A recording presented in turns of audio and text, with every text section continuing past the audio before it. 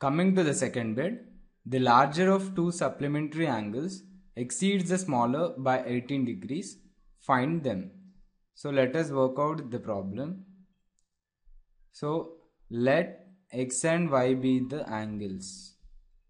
It is mentioned that they are supplementary. We can say that x plus y is equal to 180 degrees. Also, the larger of the two supplementary angles exceeds the smaller by 18 degrees. So I assume x be the larger angle that means x is equal to y plus 18. So we can write x minus y is equal to 18 degrees. So this this is equation number 1 and this is equation number 2.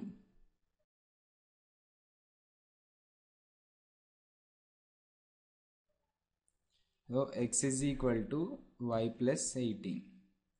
So substitute the value of x in equation number 1. Substitute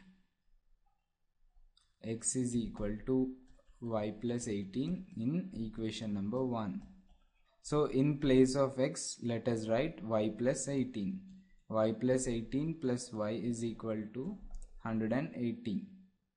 y plus y is 2y and let us transpose 18 to the right hand side. This becomes 2y is equal to 180 minus 18 that implies 2y is equal to 162 so y can be written as 162 divided by 2 which is nothing but 81 degrees.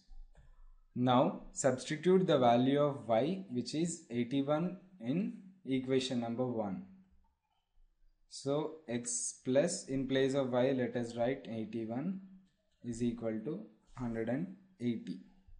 So we get x is equal to 180 minus 81.